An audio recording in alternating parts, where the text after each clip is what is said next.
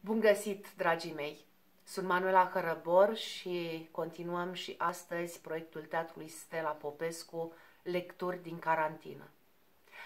Astăzi am ales să vă citesc dintr-o carte dragă sufletului meu, Floarea din asfalt, de Alexandra Zvet. Rai, din ce ai? O bătrânică înghețată așezată la colțul străzii, zgribulită toată, pierdută într-un palton jerpelit, cu mâinile înghețate bocnă, roșii, aspre, cu pielea crăpată de chin și de trudă, strânge cu durere o iconiță cu Maica Domnului.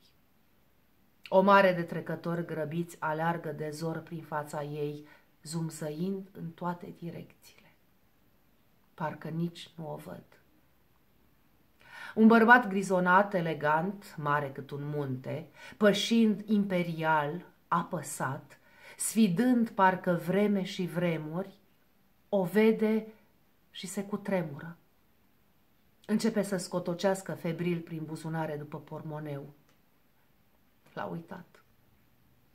Inima îi se strânge de durere văzând bătrânica ce privește undeva departe, în gol, dincolo de frig, de foame și de nepăsarea celorlalți, spre un colț de cer unde și-ar dori astă seară, parcă mai mult ca oricând, să ajungă mai repede. Bărbatul dă să treacă mai departe, însă ceva îl oprește. Se îndreaptă spre bătrânica fără nume, paralizată de fric și suferință. Se apleacă blând asupra ei și îi cuprinde cu mâna caldă, plină de dragoste, chipul. Îi mângâie cu palma mare, protectoare, fierbinte, fața rece ca un sloi de gheață, cu toată iubirea de care se simte în stare. Altceva nu are ce să-i dea. O mângâie lung, apăsat, cu drag și cu milă, ca un fiu. Pe chipul de gheață al bătrânei își fac loc cu mirare lacrimi uimite de atâta iubire. Căci, Doamne, cât i-a lipsit! Străinul îi încălzește chipul și inima.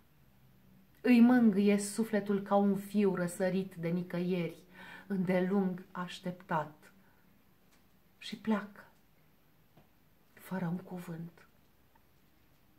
Bătrâna înghețată bocnă rămâne așezată la colțul străzii. Însă inima ei arde încă vie, o mângâiere ce-i ține de foame, de sete, de cald și de dor și parcă nu-i mai e frig. Îi ține de cald iubirea, o iubire simplă, firească, banală, atât de ușor și de la îndemână de oferit de oricine, care însă, Doamne, cât i-a lipsit. Bătrânica rămâne în urmă cu un zâmbet pierdut pe chip și dintr-o dată parcă nu ar mai vrea să plece. Uneori cerul coboară prin gesturi atât de mici aici, pe pământ. Sper că v-a plăcut lectura din seara aceasta.